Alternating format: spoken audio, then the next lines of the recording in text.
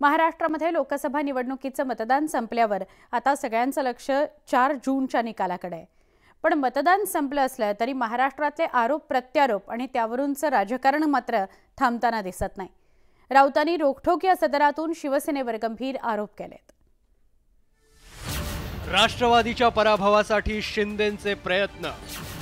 रोखठोक मधून राऊतांचे शिंदेंवर वार जावई शोध म्हणत मुख्यमंत्र्यांचा पलटवार. राऊतांच्या आरोपांनी राजकारण तापलं.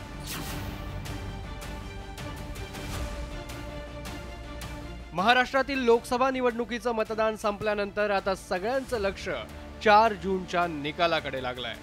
पण मतदान संपलं असलं तरी महाराष्ट्रातील आरोप प्रत्यारोपांचं राजकारण मात्र काही केल्यात थांबताना दिसत नाहीये. ठाकरेंच्या शिवसेनेचे खासदार संजय राऊतांनी अजित पवारांचं नाव घेत एकनाथ शिंदेंना लक्ष केल्याचं दिसतंय. सामनातील रोखठोक सदरात राऊतांनी अजित पवारांचे उमेदवार पाडण्यासाठी शिंदेंनी प्रयत्न केल्याचा गंभीर आरोप केलाय. लोकसभा निवडणुकीत मुख्यमंत्री एकनाथ शिंदे यांनी पैशांचा अफाट वापर केला. प्रत्येक मतदारसंघात त्यांनी किमान पंचवीस ते तीस कोटी रुपये वाटले. पुन्हा अनेक उमेदवार पाडण्यासाठी त्यांचं वेगळं बजेट होतं. राष्ट्रवादी काँग्रेसचे प्रमुख आणि राज्याचे उपमुख्यमंत्री अजित पवार यांचा एकही उमेदवार निवडून येऊ नये यासाठी शिंदे आणि त्यांच्या यंत्रणेनं खास प्रयत्न केले. संजय राऊतांचे हे आरोप मुख्यमंत्री एकनाथ शिंदेंनी फेटाळून लावले आहेत संजय राऊतांना प्रत्युत्तर देताना शिंदेंनी हा जावई शोध असल्याचा पलटवार केलाय. हा जावई शोध कोणी लावला? अरे आमची महायुती आहे. आणि तुम्हाला सांगतो महायुती मजबूतीने काम करते. निवडणुकांचा रिझल्ट चार तारखेला येईल. तेव्हा कळेल सगळ्यांना दूध का दूध पाणी का पाणी. भाजपनंही राऊतांच्या या आरोपांवर जोरदार प्रहार केलाय.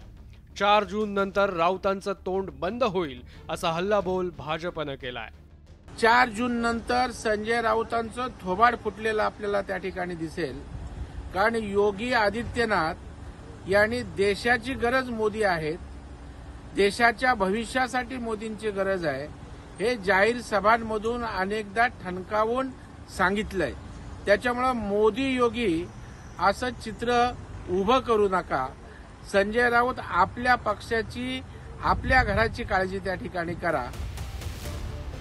एकंदरीतच सामनातील संजय राऊतांच्या आरोपांमुळे महाराष्ट्रातील राजकारण तापल्याचं दिसतंय.